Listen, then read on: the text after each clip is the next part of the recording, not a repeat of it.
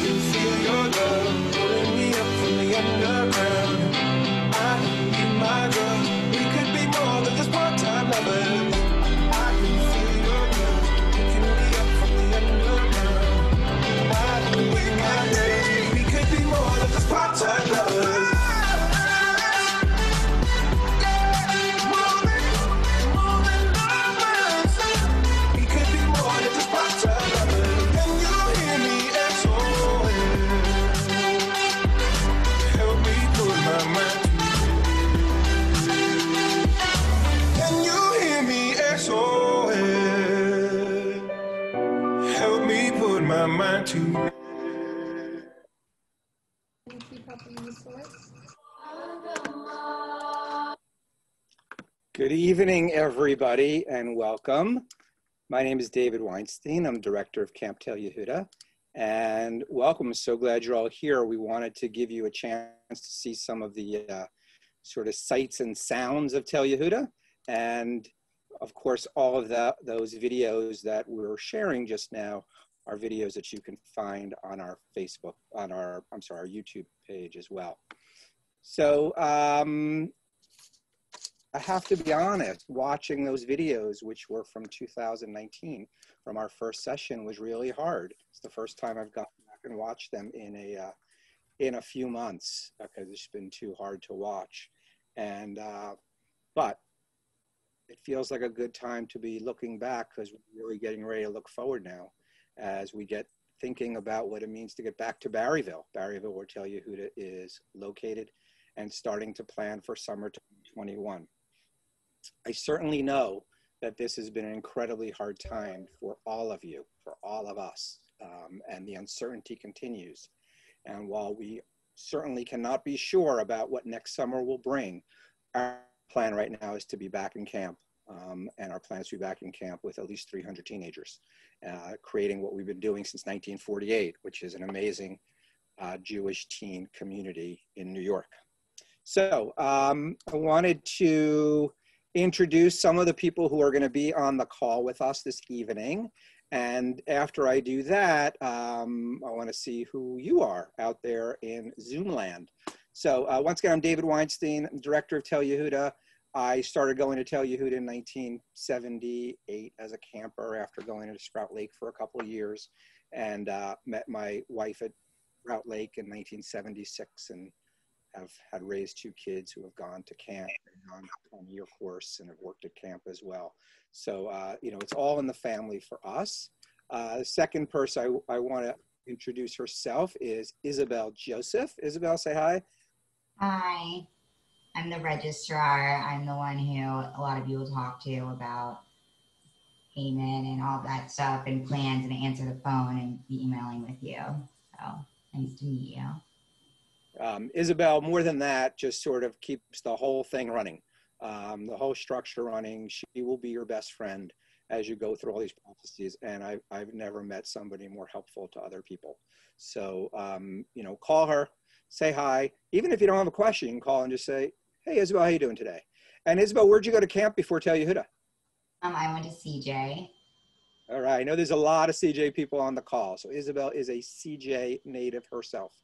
Um, the next person, um, currently in New Jersey, originally from California, is the master of the program, of the fun, of the staff, uh, sort of making the activities and all the fun and learning the kids are going to do happen this summer. And that is Mac Lindner. Mac, say hi.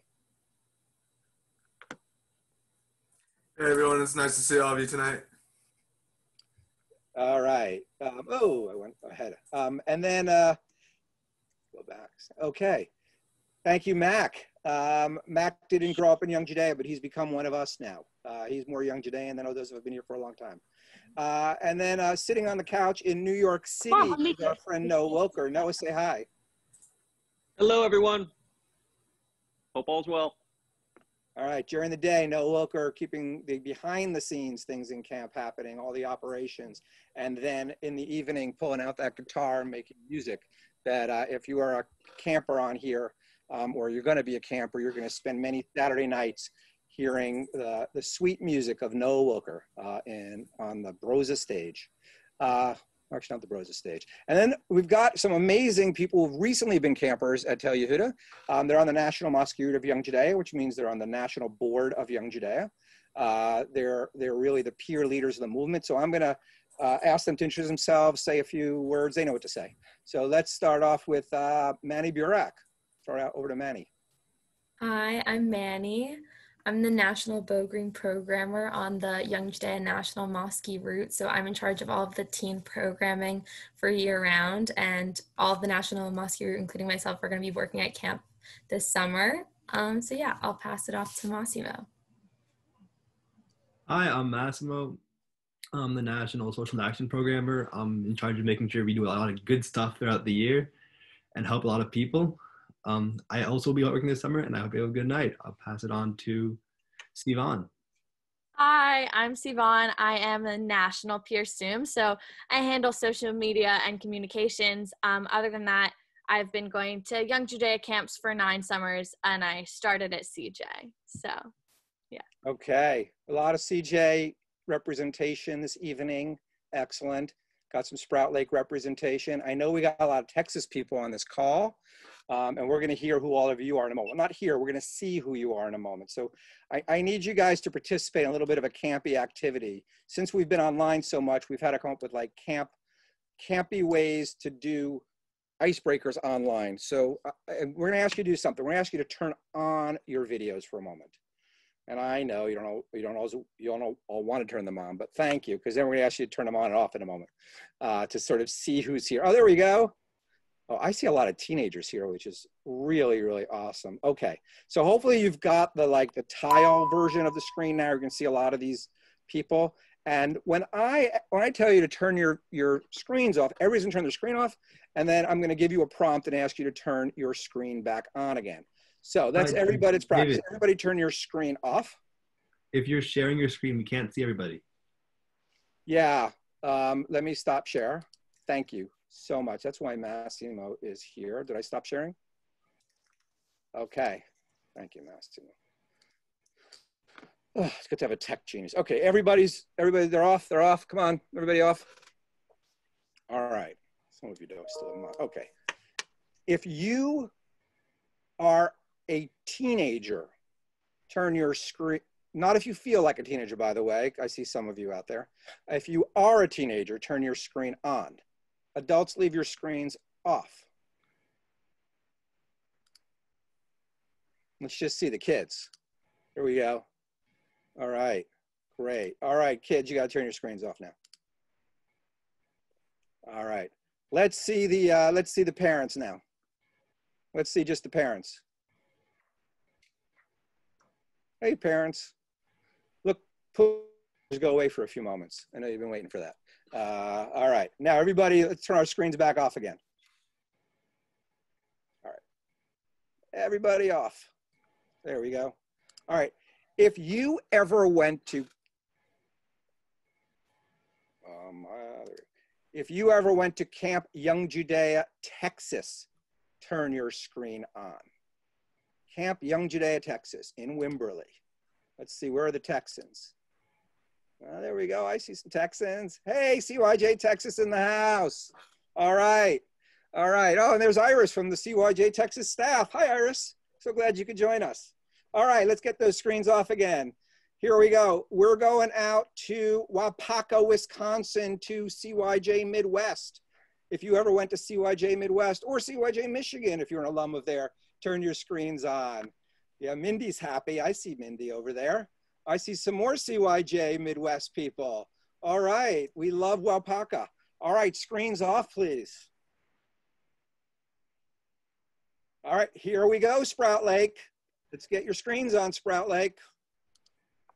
If you went there, if you been there before. All right, all right, Sprout Lake, my old stomping ground. And here we go. Uh, screens off. It's time for these people. Let's go Hendersonville CJ with your cameras on. Yeah, CJ. All right. I will tell you, um, this is a fun way to do things. Maccabiah is going to be even more fun when we're really, really in competition with each other. All right, everybody can turn your screens back on now. And um, it's good to see that we've got people from all over the country, from all of our Young Judaea camps. Um, you know, the thing about Tel Yehudah is this is the place where people from all of our Young Judaea camps come together and make best friends with people who went to all these different camps. So some of you out there right now, you're, you know, you're on the screen and you've been to CYJ Texas or Midwest or Sprout or CJ, and you're about to make your best friends in the world. If you haven't been here before, you're about to make best friends that live all over the country. Parents, I want to apologize in advance.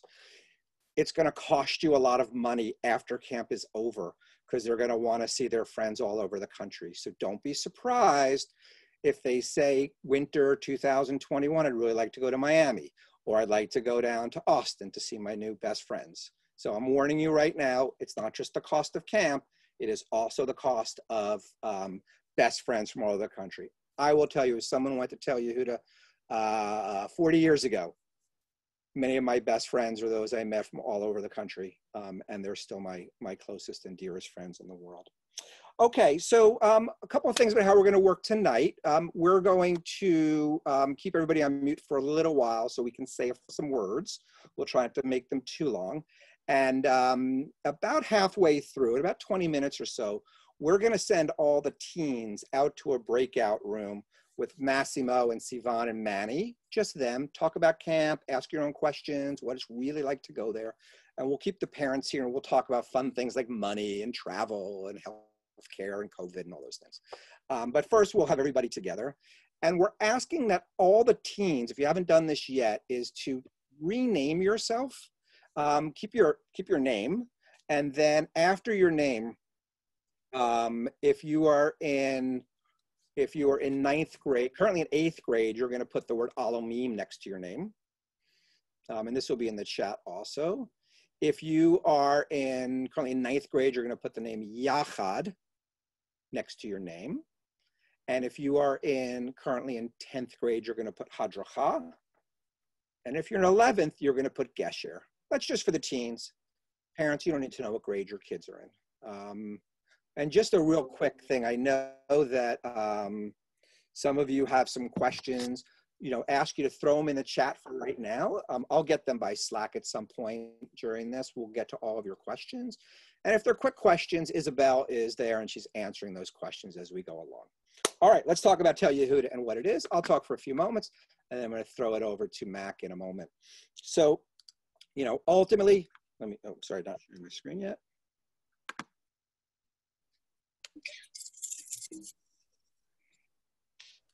Device audio.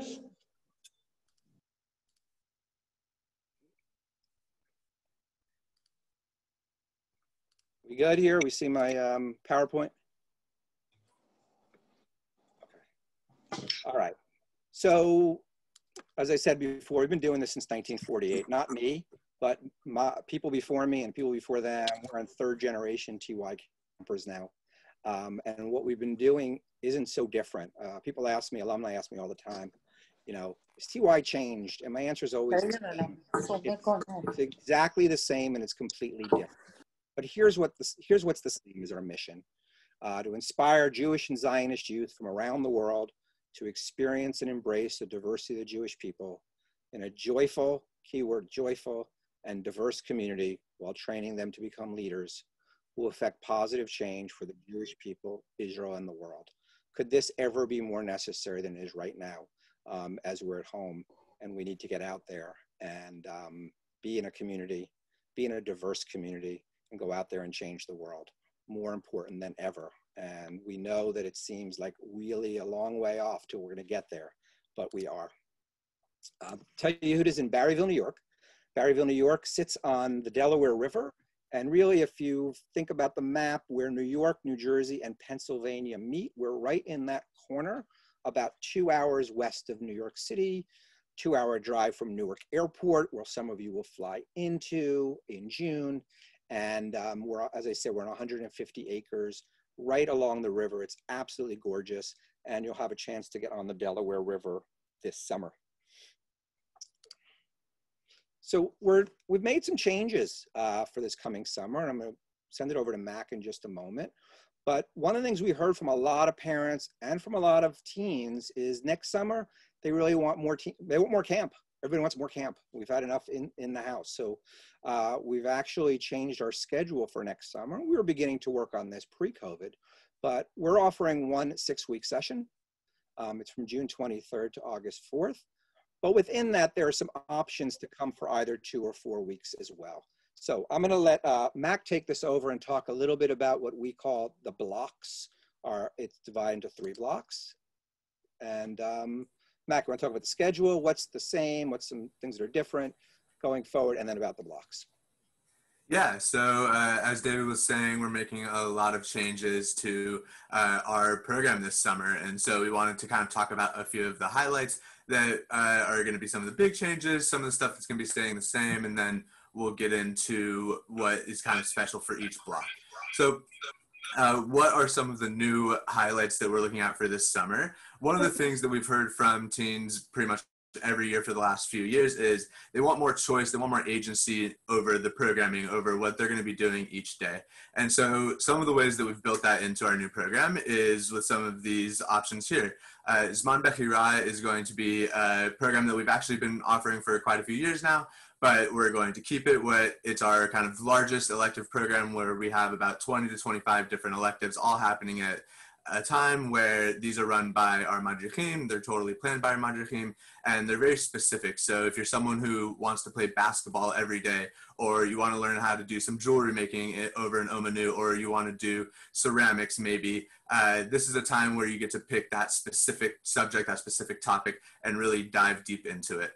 Uh, next, you'll see tracks where this is something where it's a little bit more general. It's a little bit more uh, something that if you're not so specific, like I want to play basketball every day or I want to do this specific art every day, maybe you just want to hang out with your friends and play sports, or maybe you want to hang out and you want to talk about social action and social activism, or peer leadership, or Israel, or uh, maybe you want to try a bunch of different uh, mediums or art mediums or something like that.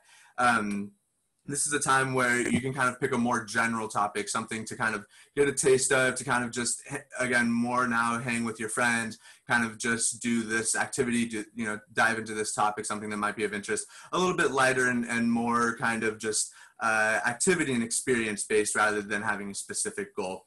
And then we're going to have other options like uh, a new program that we're calling Bunk Bechira, where we'll have different uh, different activities open up to different bunks each day and they'll kind of get to democratically choose which activities they get to go to and those will be kind of shifting from day to day. And uh, that's kind of on top of some other choice activities that we've built in on shabbat and uh, kind of in some special days in camp. And then some of the stuff that we're keeping the same you know we have uh, some specialty areas that have been phenomenal and we know our uh, teams really like to go to them like ropes course and like Sophie uh, we also know that bunk time at you know at night those Peulot Laila Tov are really meaningful for building those relationships and building those bonds and kind of creating those friendships that we all you know hear about know about experience at camp uh, and then of course you know things like Maccabiah that is one of the huge staples of every summer at TY. Uh, you know, obviously we can't get rid of that, and in fact, we're going to uh, bring it back in a way that's I think going to be better than ever. So, uh, kind of going into uh, what David was talking about, these different blocks, uh, we're going to have three blocks that, that make up the full session. So again, the full session is from uh, the beginning of block one, June 23rd, to the end of block three, August 4th. But you see here uh, every two weeks, June 23rd to July 7th, block two, July 7th to July 21st, and block three, July 21st to August 4th are uh, experiences that you can come for and you still get to have all these options of uh, Bunk Bechira, Zman Bechira, you get, you know, Shabbats, you're going to get Maccabiahs if you come for uh, a couple of these blocks, but maybe not all of them. And so really, uh, you know, all of these blocks are complete camp experiences and, and, a great summer experience. But to really get everything that TY has to offer and to really, you know, what we think is everything and the best experience that, that you can have, the full session is is really, you know, kind of the the whole the whole thing that we can offer. It's everything. Uh, so kind of going into what's going to be special about these blocks. Uh, in block one, we're calling that explore, and the whole idea here is to kind of go out to learn, to discover, to kind of uh, explore new things. So uh, you know, one of the best things about about TY specifically is there are people who come from all over the place, and you know, as David was saying earlier, you're gonna come if you haven't already come home with friends you're gonna come home with friends that live you know hundreds if not thousands of miles away from you. And you're gonna want to learn with them and you're gonna it's a brand new community. Uh, there's other also other great things like the delaware river that uh, everyone in camp in the first block is going to get an opportunity to have an experience on uh, as well as things like peer leadership exploring what israel means and uh, you know how a complicated relationship uh, with Israel can be uh, explored from many different ways. Uh, also, one of the big highlights in Block One is going to be Maccabiah. Uh, this is, like I said, you know, one of the you know best moments in camp, uh, and so we wanted to make sure that from the very beginning of summer, we kind of kicked it off uh, as best as we could, and so we decided to put that into Block One. Uh, going into Block Two, uh, we're calling Block Two Experience. And the whole idea here is to kind of move from exploration, kind of learning and, and, and exploring into experiencing. And the way we're highlighting that is through Trip Week, uh, which is an opportunity for everybody in camp to go out into the world to really, you know, kind of more the Northeast uh, and kind of uh, see what's going on and take some of the stuff that they've learned from first session and some of the, some of the opportunities they've gotten to explore and really go out into the world and see how it kind of works and how it, it, it actually manifests in you know in real life and and uh, kind of outside of the camp world. Uh, and then we're going to go into block three that we're calling act and the whole idea here is we've taken, you know, four weeks at this point to explore. We've gotten we've gotten some good experience in the world, and now we want to figure out, you know, what can we do? What what do we do at camp? What do we do when we go back home? And how do how do we make some action in the world? And how do we take all of this that we've just learned and experienced and not just leave it at camp, but take it home and let it become, you know, part of our lives and, and part of ourselves. Uh, and the way that uh, we're really going to kind of do that is really starting to kind of explore what it looks like to be outside of camp with this new knowledge. And so uh, one of the ways we want to do that is through day trips that are going to be very focused and very specific to uh, some of the learnings that each of the age groups will go through over the f- first four weeks of camp. Uh, and one of the uh, other big things that we're going to bring back for round two is Maccabiah. So this is something that we haven't done in years, is have two Maccabiahs in one summer. Uh, I think we're really excited. And also, again, we know that this is a very exciting day. And it is, you know, we, we do know that some people won't be able to come for the full session. So if you're able to come for either the first or second, you know, the first and second block or the second and third block, you really also you're you know getting a Maccabiah in there, you're getting some trip week in there, and you're getting a, a, a honestly a, an incredible summer. Um, so so let me just say another thing about um, by that while Matt catches his breath is um, you know we didn't have Maccabiah in 2020, so there's no reason not to have two in 2021.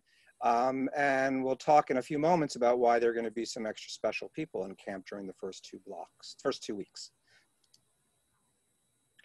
So um, one of the other sort of reasons we're doing this is we, we know that some of you are thinking about um, wanting to return to the regional camps you went to and wanting to get a little bit more time doing Segel at, at in Texas or doing um, Bogrim in CJ or going back to Midwest or going to tell you uh, Sprout Lake afterwards for their new Bogrim Extreme program. We know you all, many of you lost your last year in your regional camps. So we are building with each one of the regional camps home and away options.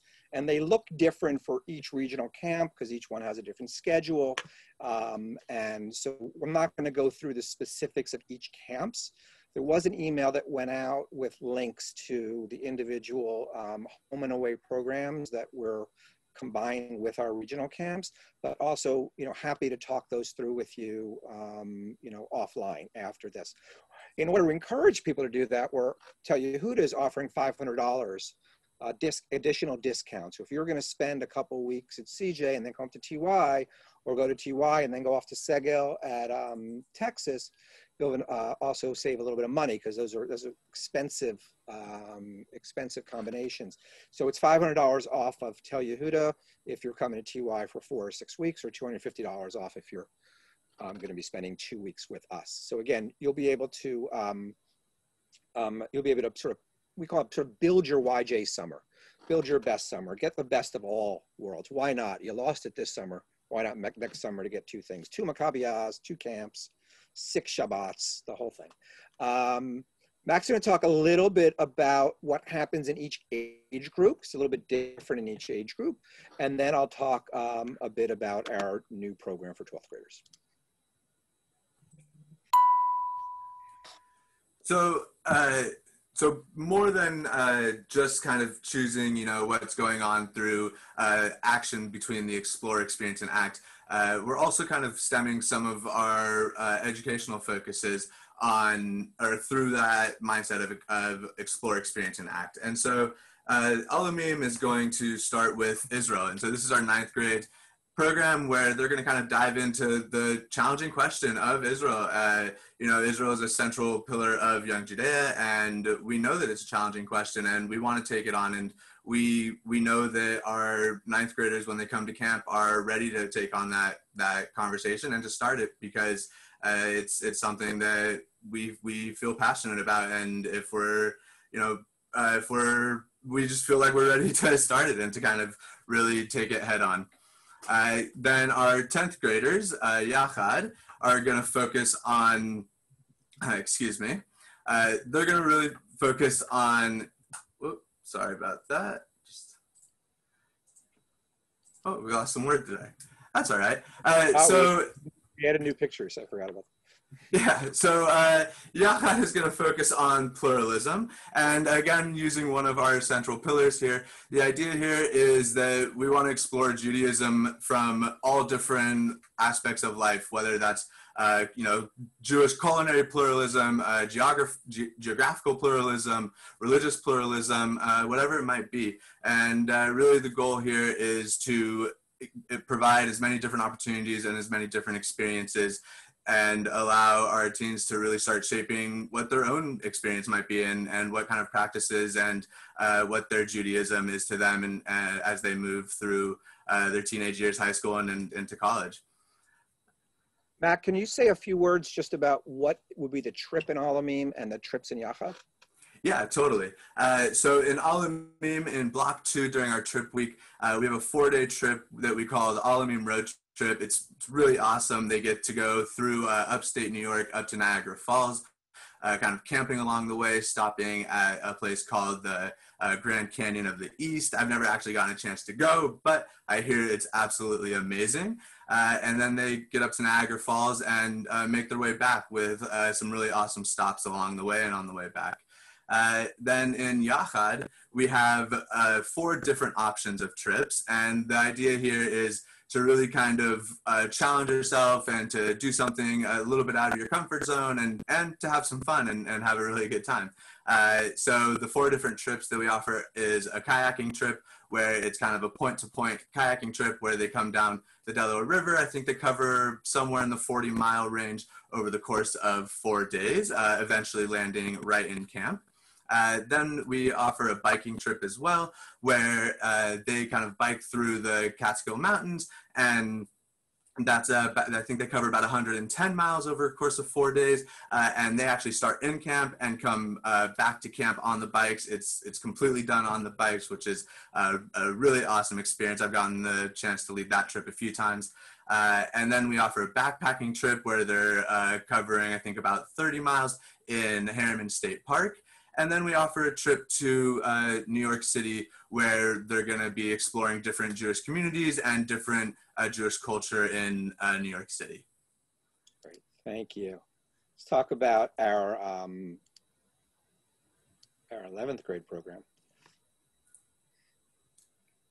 So then our 11th grade program, Hadracha, uh, all centers around social action and activism. And this is our kind of flagship program. This is uh, one that everyone kind of looks forward to uh, when they come through, you know, Young Judaea.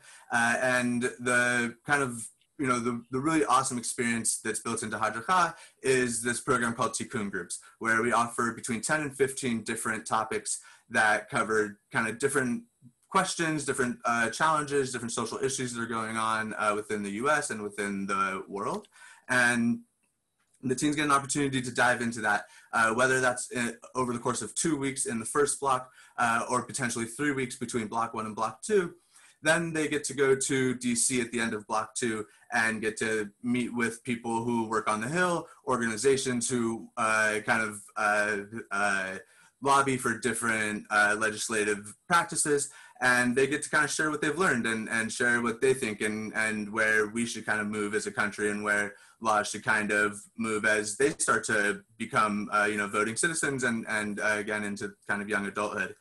Um, and then uh, for the last uh, block, you know, after after they come back from DC, they'll get an opportunity to kind of highlight what they've learned and share with the younger campers uh, in a program that we have called Tzedakah Palooza, and then diving into the last block uh, in ACT, where they, you know, will kind of start learning how, you know, how, how they can take this home and, and what they might be able to do in their own communities and what they can do in camp. Can't tell you how many parents you'll appreciate this um, if you have current 10th or 11th graders. I can't tell you how many kids have told me they wrote their college essays about their experience in Hadracha and their experience in their Tikkun group. And I also can't tell you how many young people I know today who the work they're doing in the world is based specifically on the work they originally started when they were in Hadracha. So um, that's our Hadracha program. The other piece of it is it's their first college visit. So if hopefully things will be as we hope they will be. They'll be spending four days on the campus of George Washington University. Um, and for many of them, the first time they're visiting college. I apologize again to parents that we're staying at the most expensive university in the country and that some of them might choose that university later on. Um, so I make a disclaimer about that early on. Our newest program next year is a program called Gesher. And for the first time, we are having in many years, since certainly when I was a kid, uh, we are having our incoming 12th graders back at Tel Yehudah for two weeks and then off to Israel for three weeks. We are expecting to have some more information about that in the next few days, including what we believe will be a very, very significant grant for each one of the participants for their trip to Israel. Um, this is sort of an, another one of those best of both worlds kinds of things. We have a lot of our kids who were supposed to be in Hadracha last summer who really, really want to be back at TY. Um, and but they also really want to be in Israel. So we're gonna we're gonna make all of that possible. Uh, some of the campers might choose only go to TY or only go to Israel, but we think the overwhelming will overwhelming number of them will will choose both, and that's a little why we're having two Maccabi so that some of those kids who were not supposed to be in Hadracha this summer get a chance to be captains next summer, and still have another Maccabi after that. Because, like I said, why not have two after a summer with none? So those are our programs that we're offering. What, what I'd like to do is take a pause here and I want to throw all the young people out of here into a breakout room with Sivan and Massimo and Manny who can answer great questions and sort of talk a little about what's life really like being a teenager at Tel Yehudah. So we're going to send you off in a moment and then adults, parents will stay here. We'll talk a little bit about some specifics, supervision, staffing, money, and and of course the questions you have about COVID. Um, and I know somebody's already asking asking those questions about about trips and COVID. We'll talk about all that in a few moments. So um, let's send them off to the breakout room. Um, bye, kids.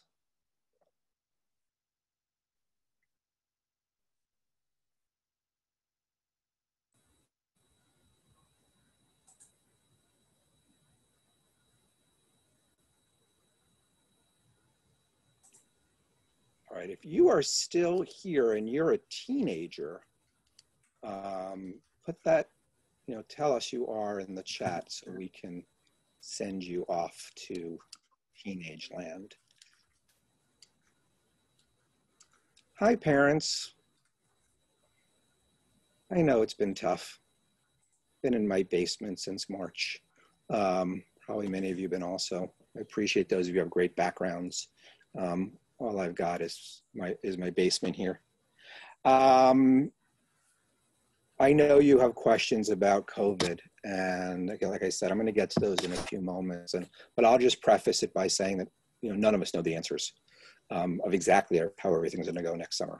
We know what we're planning for, and then we know what the contingencies we're working on as well in that reality. So let's just talk a little bit about um, some other things first and I'm going to throw it back to Mac for a few moments. Mac hires staff. One of the, one of the, the, the, the main focuses of, of, of Mac, and he's so brilliant at this, is putting together a staff that's an international staff. Um, and we believe, and you probably believe this too, parents, that uh, your kids need some some new adults. That's what I'm calling our, our madrachim, our, our, our counselors. They're basically new adults. They were just recently teenagers and they survived. And they are the very best, best for uh, teenagers to be around. Uh, one of the things that I, I, like to talk to our staff about is in, in, in um, traditional societies, teenagers lived with their aunts and uncles and cousins, and their slightly older aunts and uncles and cousins were there to help raise them. And then when we all got split up from each other, we sort of lost that. And I see our madrachim, our staff, as replacing that, as really being guides, which is what the term madrachim it means guides in Hebrew, is guiding them through this really difficult time. And I think they've really missed that this summer. So Mac is already at it, and we already have people applying for next summer. We have actually, it's interesting, a lot of people didn't work summer are already telling us they want to be in camp next summer. They missed it also. So Mac, you want to say a few words about our about our staff, where they come from, why they're yeah. qualified? Yeah, totally. Uh, so uh, as David said, we hire we hire a pretty large staff actually.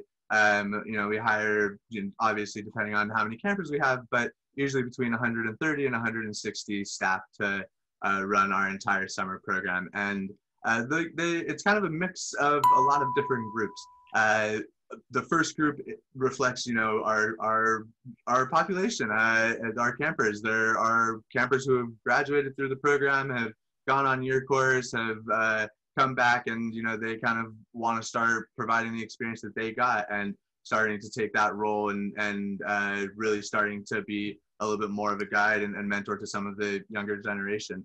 Uh, and so, you know, we have we have staff almost every summer that come from all of the different junior camps, that come from uh, year course, that come from, you know, they might be friends of friends, or they may have uh, come from a different youth movement or something like that. Uh, but uh, you know, a, a, large group of our staff have mostly experience in growing up in our summer camps and uh, really kind of turning the experience they had into the experience that the teens will get now.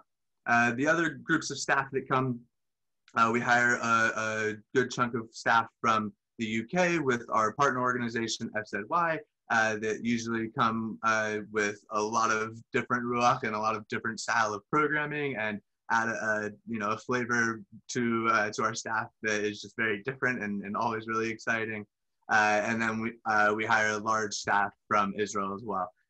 and these are staff that mostly have just finished their army experience and are looking to kind of share their experience with uh, some, some Jewish youth across the world. And uh, we get an opportunity to go over there and, and meet them and do some extra training with them and uh, really set them up to come over and share their experience in a way that's meaningful, important, and uh, also really kind of creates a bond that, you know, we, we definitely see last more than just a summer and that's also usually special when they go when uh, our teams end up on year course you know maybe they'll be able to meet up with one of their old madrichim or, or something like that and get a coffee or or something uh, in you know Tel Aviv or in the Shuk or something like that, um, which is always a fun story to hear.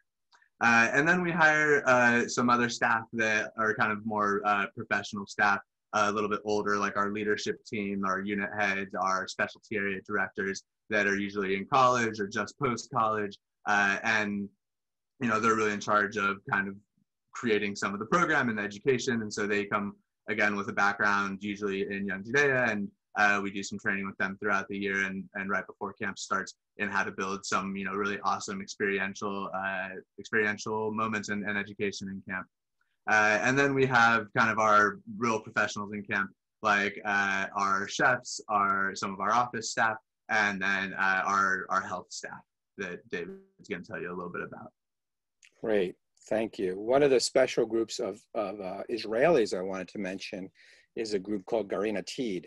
And these are kids who, kids, these are young people who are just finishing a year of uh, of, of national service. And for their national service in Israel, they're on our year course program with our kids um, who are spending their gap year in Israel. They've just lived with them for the whole year, and they're coming back with them to work at camp. So they've made that bond already. They've sort of gotten to know some things about the American culture. And, and one of, I think for me, one of the most meaningful moments of the summer is at the end of the summer when we say goodbye to Garin Atid because they're entering the army. And um, for our American kids, um, it is at least interesting to think about the fact that kids their own age are on a very different path than the one that they're on. Um, and many of them, like Max said, I am still in touch with a Tzofeh, an Israeli scout that I met in 1976 in my bunk. So um, that stuff is powerful in terms of we talk about what's the connection between American Jews and Israel, and there's all sorts of forums and, and experts speaking about it, and people are spending a lot of money to figure it out. We figured it out. Um, it starts there. It starts with person-to-person -person connection um, and those become those are life changing um, relationships. And then we can talk about all the politics and all the structures of the jewish community afterwards but it starts with those um, real real relationships. This year also we're working uh, during the third block to bring a group of campers from the uk um, from the from the Federation of Zionist Youth FZY as their new summer program. So if you have a camper who may be staying through the entire summer, they'll likely uh, be hanging out with some Brits and take home a great accent with them as well. Again, building that sense of a larger Jewish world that they're in. It starts with the fact that I'm from New York and I have now a friend from Texas, and now I've got a friend from Tel Aviv, and I got a friend from London, and all of a sudden the Jewish world is more than um, Westchester or more than Austin or more than um, Chicago. It is a bigger Jewish world. And I, and I, think we don't talk about this enough, but I think that's one of the, the sort of big realizations that happens at Tel Yehudah and a reason to move from a regional camp, from a local camp to this national camp. And we are really the only Jewish uh, teen summer camp out there. Um, there used to be two of us out there. Now, now there's really just us um, to offer that type of experience. So we're talking about staffing, and uh, one of the things that Mac mentioned, um, you know, we, we take health and safety incredibly seriously. We have on the line here, I don't know if you, I see his name, Russell Berner. Russell, are you there? I see your name. Russell is part of our camper care uh, staff. He's um, our camp social worker. And I didn't even know he was coming, but I see his name. And uh, I can't tell you how busy he is, not because all the kids need social work, but because all the kids want someone to talk to. Um, and hey, Russell, say hi? Yeah, definitely. Hello, everyone. I am Russell Berner. I've been the mental health specialist at camp um, the last two summers and uh, hoping to be back this summer. You, yeah, that's the plan. Wonderful, wonderful. Loving, loving hearing about all the new stuff. Fantastic. Very, very excited. Great. Um, and Russell's an alum himself. I knew Russell way back in the day. I am also, yes, I'm an old timer like David. I started at TY in 1977 and went through the years and went through the movement from there, year course, college, and now I'm back. Great. And you've had a summer off, so you were ready to, to, to get back to work next summer, Russell. Very Um, definitely. And, and it's not, again, it's not just like therapy for kids. It's helping us think more holistically about, you know, what mental health looks like in camp for all of our kids. Um, and especially after, you know, it's been a tough summer. So we know next summer we have to be more, paying more attention to it than ever before. Um, and on, be, along with, um, along with Russell, we have our nursing staff, um, some who will be returning from previous summers. Um, we have our well-equipped health center. We have, um, we're gonna have a big intake process when they first get there to make sure they're healthy, uh, to make sure they've had their vaccinations, um, to make sure they don't have lice, um, and to keep a good eye on them during the summer, make sure they don't have ticks. And we also have our parent liaison, is somebody for all of you to reach out to when you're personally having some questions and some trouble and you want to speak to the parent liaison about about stuff. You know, other camps call it the camp mom. I sort of think of it as the parent mom, um, and because you will all have someone to talk to. Um, our food. We've learned in a teenage camp that we can't serve chicken nuggets every day that they might serve in a camp for younger kids. Our kids have more sophisticated palates. We are incredibly lucky. If you've been around Young Judaea for a while, we have this guy named Stu Stein uh, who runs our kitchen and also makes hysterical videos um, on the internet. So you should check out Stu Stein on the internet. Stu was my camper back in the day. And uh, he was the worst camper and he's the best kitchen manager ever. And he is constantly feels challenged to make sure the kids are enjoying the food, that there's some fun that's going on in the Chadar Ochel. Uh, each week he announces how many Mediterranean bars we're going to have because he can't keep up with the amount of hummus and falafel that needs to be put out on a Saturday night. And um, he's introduced Poke Bar, which I always have to check the bills on that because I think that's why we're paying so much money for camp. Um, but we have Bar once in a while, barbecues. Um, and there's always a salad bar. There's always um, opportunities for, for campers who want alternatives in their, their menu. And also, obviously, we're catering these days to kids with all sorts of dietary uh, restrictions and making sure we, we um, cater them. And somebody asked a question earlier on about kashrut. Um, we are strictly kosher camp. Uh, we have a mashgiach. Um, who visits camp regularly uh, from who's under the supervision of Orthodox Union. Um, and if anybody has questions about and wants the hashgacha or anything like that, happy to share that information with people. Um, and so I would say this, the food's really good at camp. If you went to camp, at, went to Tel Yehudah, I see some alumni on here. It's much better than the food we ate when we were younger. Uh, it's really great. And by the way, if you drop your kids off on opening day, you get a great buffet. And that buffet is everything that we actually eat during camp, during the summer. So we, we, we teach, we, we treat campers well when it comes to food we recognize like this salad bar you're looking at right now, this might not exist. This might not exist next summer, right? We might not be able to have salad bars the way we have them now. We're already looking into um, what are going to need to be the other options for how we serve food. We might not be able to serve family style, which we serve now. Um, we're, we're aware of those things, which is a little bit early to make those decisions. We don't know where we'll be in a few months, um, but we are looking at alternatives to how we put great food out in camp in different ways than we currently do. So this picture might have to go away at some point. All right. Um, oh, I want to make sure I get a chance to answer all the questions. These are all ways we'll communicate with you during the summer, including a weekly newsletter called B'Machaneh. There'll be videos on YouTube. We're all over social media, as you already know. Um, I can't even say enough about that. If you haven't, you haven't watched the movie Social Dilemma, I recommend it, and you'll all want to get off social media. We, while you might be on technology next summer while the kids are away, the kids won't be on technology. I just want to make that clear.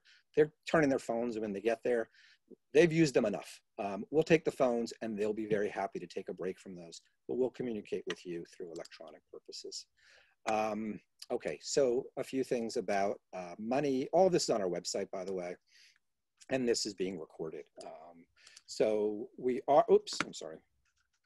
We are offering our um, early bird special until October 15th. Love you to register early, save some money. It's basically 100 off for each block you do. So if you're doing the full session, it's $300 off.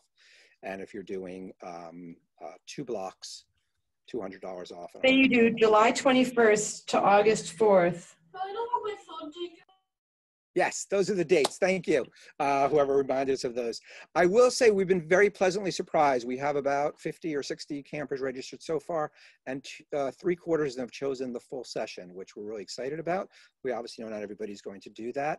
Um, and so there are prices here if you're just doing one session, if you're just doing one block or two blocks or the full thing. We've also kept our four week price the same as last year. It's actually gone up by $10 just to make it simpler for, for everybody, but um, it's the same price as it was last year. We didn't think this was a year to raise prices and we've offered a significant discount if you're gonna do the full, the full session. Um, and then there's all sorts of discounts. So um, the, the, the, for people who rolled over money or donated money, I, I have to say this, we were so incredibly wonderfully moved by the generosity of parents who had signed up for camp last summer. We had over $200,000 donated back to us and $200,000 rolled over this summer. It's why we're still in business because of our generosity. So for people who rolled over or donated, we're giving them an extra $500 discount on a full session. $200 discount for siblings. Some of you have siblings. $1,000 if you refer a brand new camper to us who's never been to a Young Judaea camp before. And please do that. We love, we always love the brand new campers. Um, we take good care of them and they stay for four or six weeks to $1,000. And then we have these home and away discounts. So if you're looking at a program at CJ and TY or Texas and TY, Midwest TY, TY, Sprout Lake, um, there are some discounts. We want to make that a little bit, um, a little bit more affordable for you. Um, traveling to Tel Yehudah, we are hoping that people will get on planes next summer and fly to Tel Yehudah into Newark Airport only. And there'll be specific information about the window of time. We'll pick you up or pick your kids up. We'll drop them off. We'll stay with them at the airport till they get on a plane. Um, and, um, and otherwise, you, there'll be a bus that's coming from Newark Airport that you can drop your camper off at, or you can obviously come up to camp and drop them off and come say hello, and we'll feed you well when you do that. And um, like I said before, you know, spread the word. Um, these are a few other things to maybe do right now. Uh, register online, or if you're rolling over tuition, you can, there's a special form to fill out. You can call us, you can email us. We have a little chat thing on our phone, on our website also. So chat with us. We get very few of those. We'd love them. Uh, please feel free to share stuff all over social media. Mindy, thank you. You're the best at doing that. We really appreciate it. Um, if you're onto TikTok, I'm not, uh, but if you feel like doing a dance with your kids on TikTok with TY t-shirts, let us know. And uh, 272 days, I think it's actually less now. I think I made that a couple of days ago. So what about COVID? Um, what about it? Um, so we don't know, right? We don't know what's gonna be by next summer. So we're planning, this is what we're planning, is to be in camp we are learning a tremendous amount from camps that opened last summer. Uh, there were a couple of Jewish camps that opened, Camp Modin in Maine, Camp Blue Star in North Carolina, uh, Camp Champions, not a Jewish camp. Uh, we, we, we, were in a seminar with them just a couple days ago. We're learning that's one scenario. That's sort of like the worst case or the close to worst case scenarios that we're opening with COVID still being the way it is right now. Um, and we're learning on, way, on, ways that camp can open safely doing that um, by expanded testing, by smaller pods of campers for some period of time until we can open it up and we know we're COVID free. Um, but we're not expecting, obviously, that. None of us are expecting that. We just have to be planning for that. we're expecting that we'll have some sort of vaccine in place, or certainly the testing will become so much more, um, so much more and easily available. I don't know if you saw the news yesterday about the, the gargle test that they've developed in Israel that they're now employing in um, airports in Europe, where you gargle for 10 seconds and spit into something and it tells you if you have COVID or not. They're putting them in the first airports in Europe starting this week. We expect that there will be better technologies. If we have the type of te testing that we need, it will allow us to keep much closer track um, on what's going on. If we have a vaccine, we hope we'll have a vaccine. Obviously, that will make things much easier. Some people ask questions about trips. We recognize that some of the trips we run, we would not be able to run if we were still dealing with COVID the way we are currently now. Our outdoor trips, definitely, we could run, but we would not be able to go to Washington, D.C. and stay on the campus of George Washington University. And we'd have to find a different way, a more creative way to be in touch with our elected officials to do the kind of work we want to be doing. So we do recognize that our plans are subject to change. It's why, and, and like I said, there's a very worst case scenario that once again, camps won't open again. I don't want to imagine that right now um, and I don't want to plan for it. I do want people to rest assured, though, that this summer when we did not open camp, that every single family that asked for a refund received a refund. They've all been sent out already. Um, you know, we're not looking to keep your money. And obviously, the generosity of some parents, of many parents, was incredibly helpful. Um, our cancellation policy is by March 1st, if you cancel, everything's returned to you. By May 1st, all but the deposit of $500. We waived that this year also if people started canceling because they were concerned about COVID. If we're in the situation we're now and we need to waive that, we will again. We, we have no desire at all um, for, for the money piece to be the thing that's holding you back from starting to make plans for next summer. Um, we are consulting uh, next week, or not next week, I'm sorry, a couple weeks, our board is having a meeting. Um, we're consulting with a number of medical experts to get some uh, inside information on where we think things are going. We're talking very regularly with Tom Rosenberg, who's the director of the American Camp Association and a good friend of ours, um, about what camps are doing. We expect to get the support of the American Camp Association, the Foundation for Jewish Camp. We're working with them on a new program of scenario planning, where we're going through a few different scenarios and what those could look like for next summer. Um, and of course, working with the New York State Health Department um, around whatever regulations that they're going to, to have for next summer. So I can't tell you everything that might happen and how we've planned for everything that might happen, um, but I can tell you that we know it's a fluid situation. Right now, we'd um, like to offer you and to your kids the hope that next summer and the very, very strong possibility, overwhelmingly strong possibility that we're going to be able to get the team back together again, our team with your kids, and have a, uh, a great summer on a safe summer. And we won't do it unless it's a safe summer. So let me uh, go through um, some of the questions that have been coming up. Um,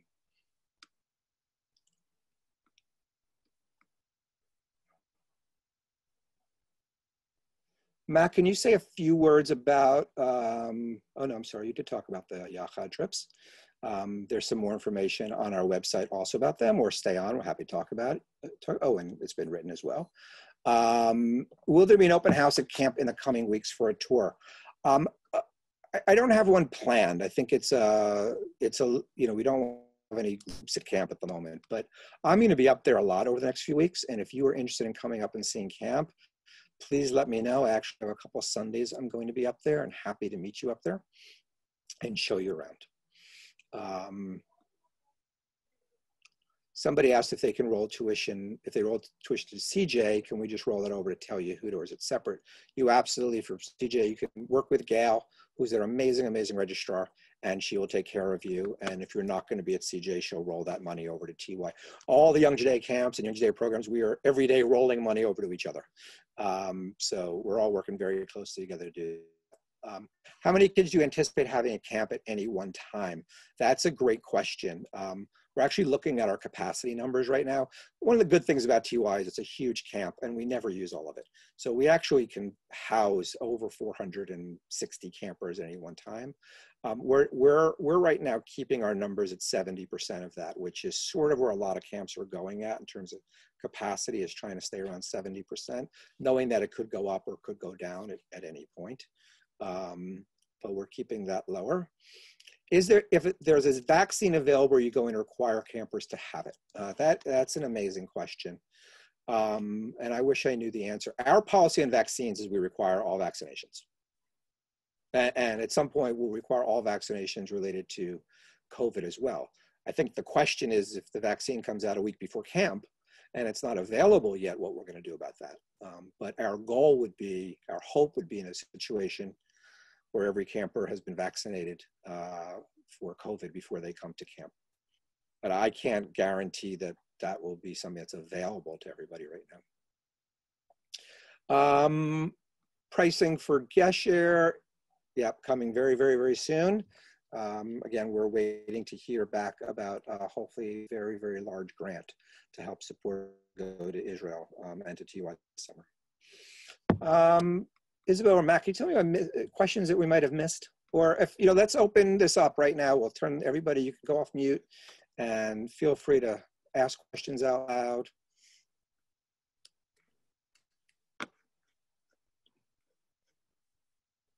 Uh, Rebecca. I have Hi, a Rebecca. question. So Yeah. Ben, this is great, by the way. Thank you so much. Welcome. Ben did TY5 this summer and it was really fun.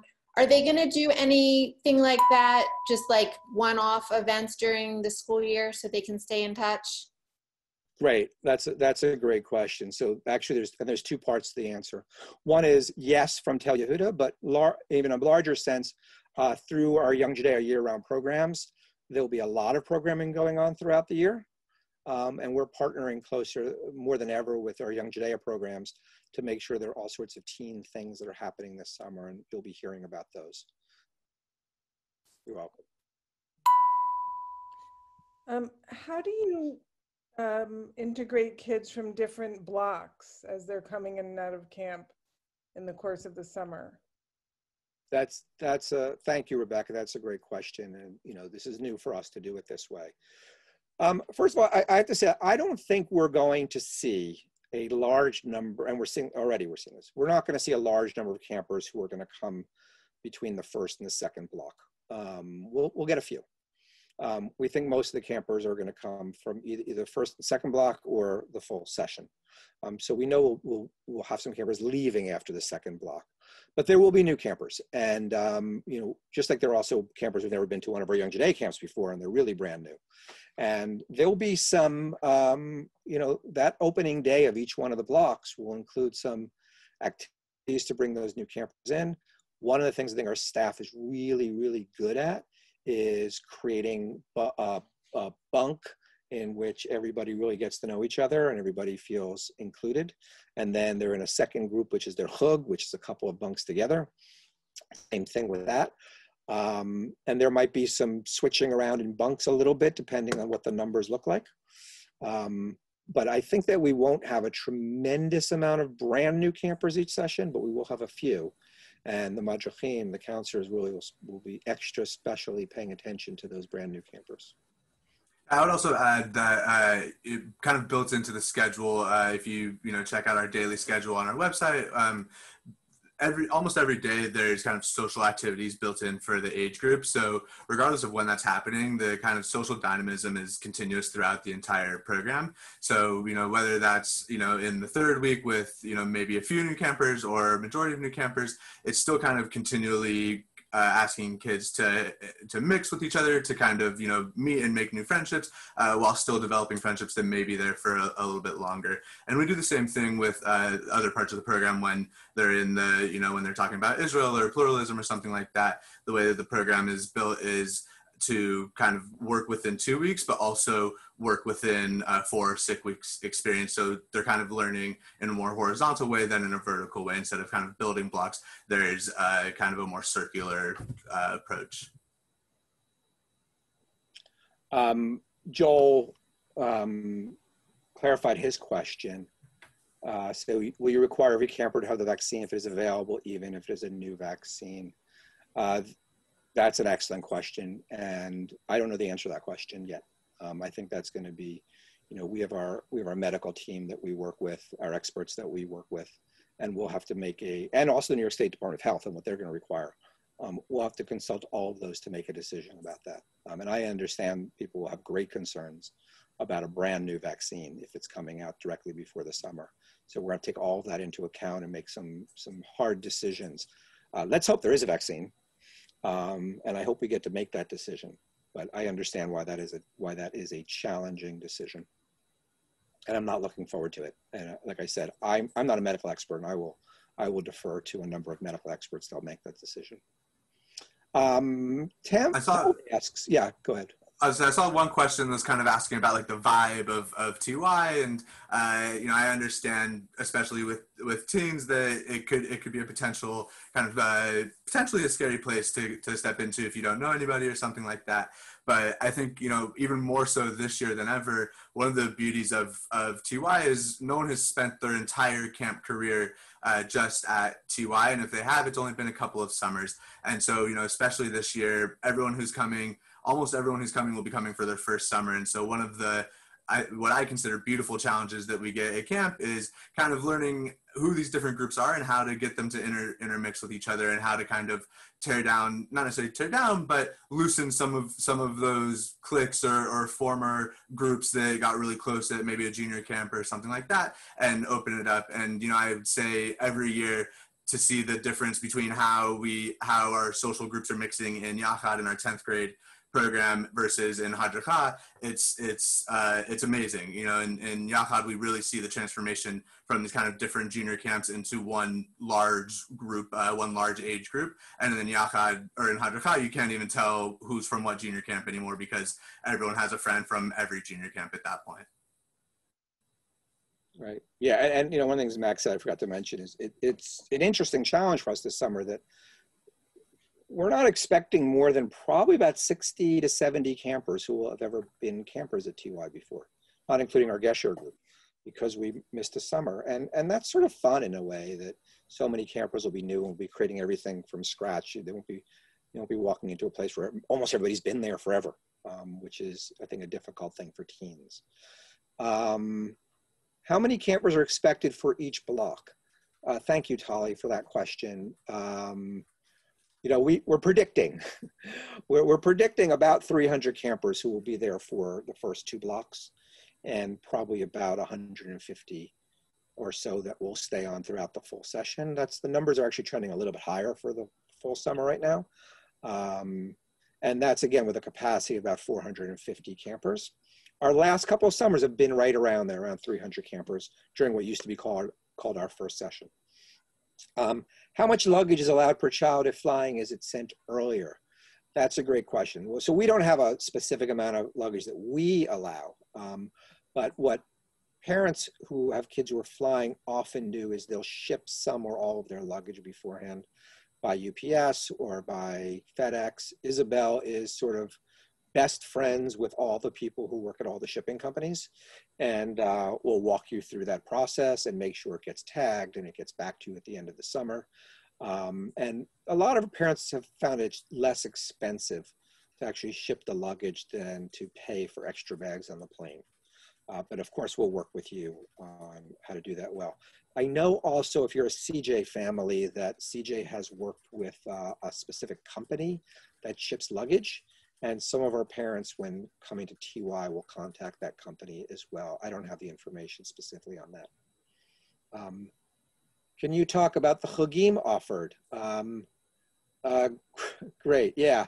Um, we, we use, as opposed to our junior camps, we use the word chugim a little bit differently. We use chug the way they use edah at a junior camp, like the group that you're in. But I think by chugim at, at CJ, um, some of the other camps, um, includes um, uh, like what we call Zman Bechira and specialty areas. So Mac, you want to talk about some of the different specialty areas that kids might be going to in Zman Bechira? Yeah, absolutely. Uh, so our specialty areas, uh, we have some, we have uh, seven or so uh, kind of larger specialty areas that are pretty common at, at a lot of camps. Um, so we have our ropes course, we have our pool, we have our Sofiyut area, that's the Israeli Scouts. We have Omanut, which is art. Uh, we have Rikud, which is uh, Israeli dance, and uh, I would say that's one of you know the most popular ones. Uh, Rikud, if you haven't heard about Rikud at TY, you will definitely be hearing about it after this summer. Uh, and um, uh, let's see, what else do we have? We have Shira, which is singing and kind of singing different, some old Israeli songs, some new Israeli songs. Um, trying to I'm trying to think. We have a few others uh, out there. Uh, you know, we're hoping to have a garden again this year, but we'll we'll see how that goes. Um, it's a challenging programmatic space. We have a drama uh, department uh, that is really good for kind of team building amongst uh, different bunks and things like that. Um, and then some of the Zmane Bechira, uh, you know, that's the time that we offer a, a lot of different uh, uh, options. Uh, usually between 20 and 25. So without listing all of them, I'll see if I can give a kind of variety. Uh, so, you know, as I mentioned earlier, we'll have things like jewelry making, we'll have things like, you know, basically every major sport you could think of. Um, we've had uh, I think one of my favorite ones in the last few years was the Zionist Power Hour, where they sat for you know 45 minutes a day and kind of talked about different Zionist thinkers, modern and and more historical. Um, and you know you might be surprised to hear that was actually a successful Zman Bechira the team signed up for, um, but you know it, it, was and it was really awesome. Uh, and then we've had some you know really quirky ones like Quidditch or uh, something called paper football uh, or golf, uh, which wasn't actually golf. You think it would be, but it wasn't. Um, you know, uh, just some some really fun stuff, and those are all developed by our madrichim, uh, which is a really awesome opportunity for them to kind of bring themselves and for them to kind of share something that they like to do or that they're a little bit passionate about with some campers in camp that might not necessarily be in their bunk or uh, even in their age group. Thanks, Mac. Um, Judith Turner, who I know since I'm uh, like a, a, high school kid, asks the question. Hi, Judith Turner. Um, can you give can you give us a virtual tour of the camp, including inside the bunks? I can't do that right now. I wish I had all that cool stuff to do uh, that some camps have, but I do have a ton of pictures um, that show inside the bunks everywhere. And I think we're gonna do is put together really a great, a great album of sort of, you know, your way around camp. And I dream of having one of those clickable map things where you can go on our website and click a place on the map and see what it looks like. Um, but until I have them, um, I'm going to do that. And um, happy also, Judith. I'm going to go up to camp in a couple weeks. Happy to also take some videos. Is are you looking for your name in a bunk, or is it that you just like to see what they look like now? I'd love to see it now, and I'll join you for that trip. okay, all right. Uh, uh, and thanks, Beth. That's a great idea to, to link that to Facebook. So um, we'll put that up there as well. Um, Jen Strasser, I don't know you, but I like the virtual background you had a moment ago. So if you want to put that back up again, it looked like you were in a space capsule or something. So that was cool. We noticed. Um, are there any traditions that we should know about to prep our kids for wearing white on Shabbat? There you go. Everybody look at Jen Strasser's uh, background. I think it's, oh, it's not the Starship Enterprise. All right, Jen, you have to tell us what that is in a moment. Um, uh, so we've tutus were good. Um, uh, you know, as opposed to the younger camps, we, we've we found over the years that it's hard to get teenagers to wear white on Shabbat, as much as you know it's a beautiful tradition for younger kids. Um, but um, Mac, you you know they do need colored shirts for Maccabiah, but they won't know what color they need. The kids all switch with, with each other when they get there. They eventually all find those colors. There are some kids who will bring a red shirt and an orange shirt and a blue shirt and a green shirt and a yellow shirt, trying to imagine that they're ready for Maccabiah. Um, I wouldn't go too crazy with that though. Um, anything else, Mac, you think that they should like be set for in terms of tradition? No, I think you kind of mentioned it all. Um, you know, some kids like to wear athletic wear for Rikud. Um, general, you know, red, a red, a blue, a white shirt for for Maccabiah. Um, yeah, you know, nothing so crazy. Um, I just want to say, because Maxwell Rikud, Rikud to tell you that Saturday Night Dance is, you know, is sort of Rikud slash aerobic workout. In fact, one of the shirts that a lot of the kids like to buy, which they sell at the end of the summer, is Rikud is my cardio. And, you know, if you've never seen our videos, this or some on our YouTube page, um, you know, they're doing an hour serious workout. Um, it's craziness it's it's wonderful to see. I, I miss it so much. Um, so yeah, they're going to need some uh, some athletic wear for that. Um, and and for trips, in terms of stuff they need, you'll get a list depending on what trip they're going to go on. So for instance, you know, hopefully, hopefully our Hadra kids will get to go to Washington D.C. They're going to need a nice shirt um, to go when they're when they're on Capitol Hill. Uh, if they're going backpacking, there'll be information what they'll need for their backpack, et cetera, that you'll get um, in, in advance. Okay, um, I think we've gotten to all the questions. Uh, this is just, uh, hopefully, the first conversation uh, that we have together. Oh, wait, one more question. Is there, if they choose between four trips, do they choose before coming? Yes, great question. Yeah, they'll get that list of uh, choices somewhere probably in April and then find out a couple weeks before camp which trip they're going to be in. Um, so we're really available. I mean, we are sitting in our homes. Um, our, our favorite thing is to talk to you. So a couple of ways, again, uh, call us. We're actually invest, investing in a new phone system as we speak, hopefully actually to save money, not to spend more money. Um, we have the chat feature right on our website, so chat us up. We have this thing called beacons where you can also search for information if there's a specific question you have on our website. Um, you can reach Isabel, you can reach Mac, my, myself. Um, Noah will be out for the next few weeks and then he'll be back and he's great to talk to also, or you can call him and ask him to sing you a song. Um, and uh, on the bottom of our signatures, there's a Calendly thing, so you can schedule a time if you want to do that instead. But please, you know, feel free to, to, to call, chat, um, and answer as many questions as possible. So we did go over by 15 minutes. I don't know, did the kids finish, by the way? I, am not 100% sure if they're finished because I haven't seen Manny or Massimo or Sivan come back. And uh, the last I heard a few minutes ago from Massimo, they're having a great conversation. Okay. One of the big topics was the phone policy at camp. Ah, the phone policy. the phone policy. So yeah, I mentioned this before. We we let them uh, we let them give us their phones, and I I will and I'm not exaggerating about this. I, I, 2019, I keep saying last year. I mean 2019. There was a group of kids who cried when we gave their phones back. Now, I'm not saying it's all the kids. I don't want to exaggerate this. There are some kids who are also happy to get back on Instagram and post their pictures. But, but I have rarely heard a camper complain. There are campers who try to hide their phones. We know that.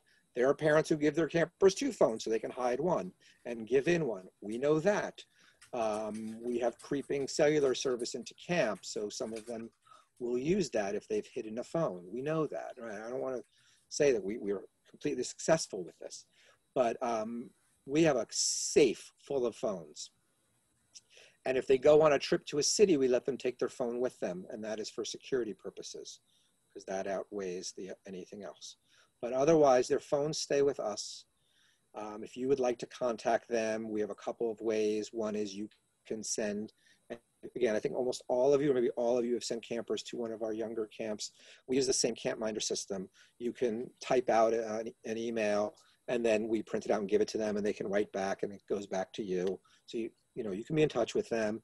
We'll let them call home on their birthday or on your birthday or if there's an emergency obviously you know we're not trying to keep them away from you.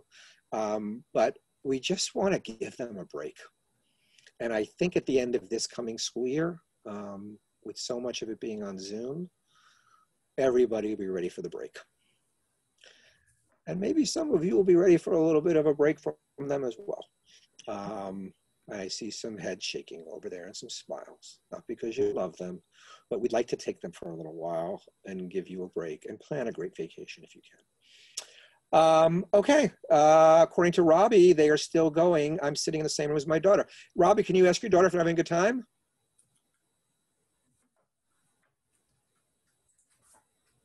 Having a great time and uh, I'm I think I'm getting rid of both of my daughters this summer. All right. one at CJ and one up in New York. Fantastic. Um, it's good for everybody. It really is. Um, and we, you know, having had a, a summer without without kids, um, we are we are incredibly ready to get back to it. We're itching for it.